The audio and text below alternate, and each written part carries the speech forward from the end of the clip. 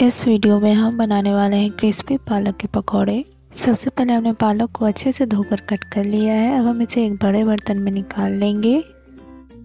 फिर हम इसमें एक कटोरी बेसन डालेंगे।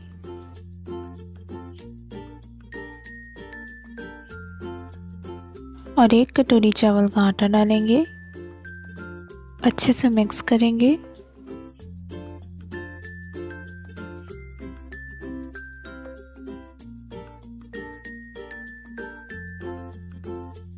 मिक्स करने के बाद इसमें हम कद्दूकस किया हुआ अदरक और दो से तीन कटी हुई हरी मिर्च डालेंगे।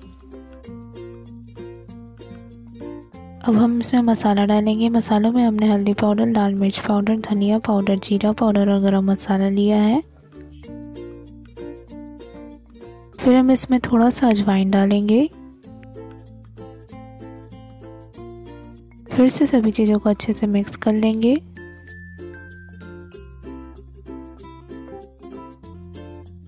टेस्ट के हिसाब से नमक डालेंगे। फिर से मिक्स करेंगे।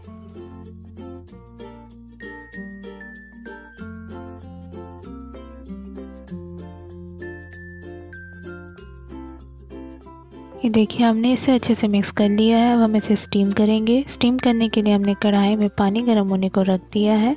इसके ऊपर अब हम एक छेद वाला बर्तन रखेंगे। इसे हमने तेल से ग्रीस कर लिया है।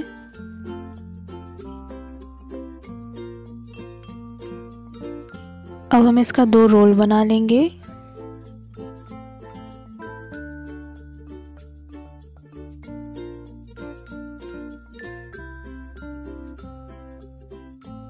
और इसके ऊपर रख देंगे।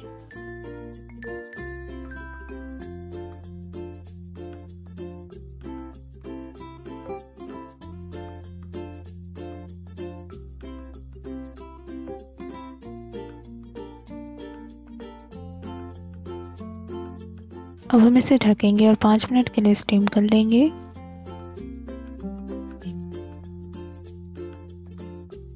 अब पाँच मिनट बाद इसे हम चेक कर लेंगे। एक साइड से स्टीम हो चुका है, इसे पलट देंगे और दूसरी साइड से भी स्टीम कर लेंगे।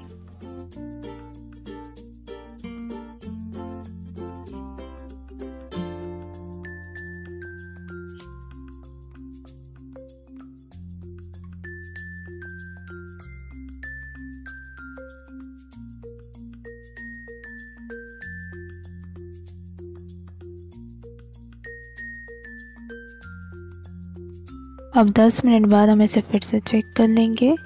हमारा रोल जो है वो अच्छी तरीके से स्टीम हो चुका है, इसे निकाल कर ठंडा कर लेंगे।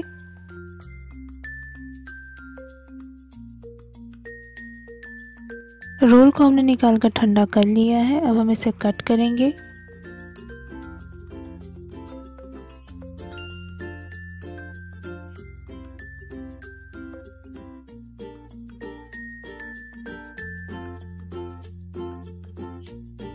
हमने इसे कट कर लिया है। अब हम इसे फ्राई करेंगे। फ्राई करने के लिए हमने कढ़ाई में रिफाइंड ऑयल गर्म होने को रख दिया था। तेल जो है वो अच्छी तरीके से गर्म हो चुका है। अब हम इसमें एक एक करके पीस को डालेंगे और मीडियम फ्लेम पे एक साइड से गोल्डन ब्राउन होने तक फ्राई करेंगे।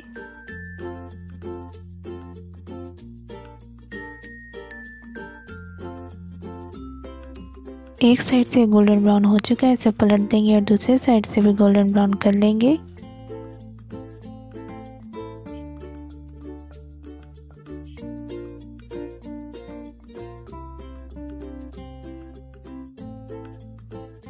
अब ये दोनों साइड से गोल्डन ब्राउन हो चुका है, इसे हम निकाल देंगे।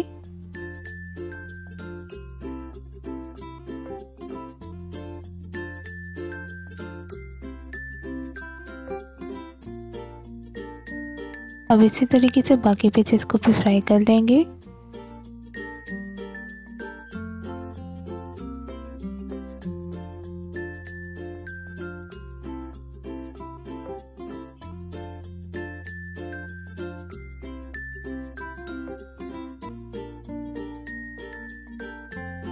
हमने सभी पीसेस को फ्राई करके निकाल लिया है। पालक के क्रिस्पी पकौड़े बनकर तैयार हैं। इसे आप किसी भी सॉस या चटनी के साथ खा सकते हैं।